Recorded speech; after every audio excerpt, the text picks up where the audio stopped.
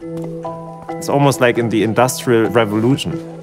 It's not just that you run the same factory with electricity in it, but you really evolve how you build and run the factory and the process overall. And we expect the same to happen with AI. I am Sebastian Steinhäuser, Chief Operating Officer of SAP. Business AI really means applying AI to your business because the real value of AI only unfolds when it's applied to the specific business processes, be it automating finance processes, making better HR decisions. However, that's only the start. The next step change comes from applying AI and especially agentic AI to planning processes.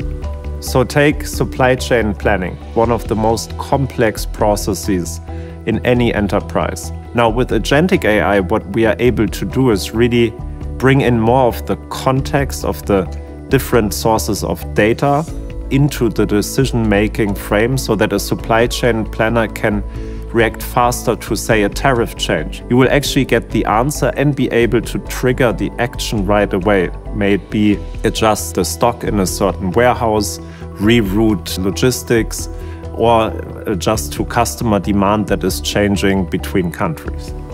At SAP, we are seeing the impact of business AI across all processes that companies are running.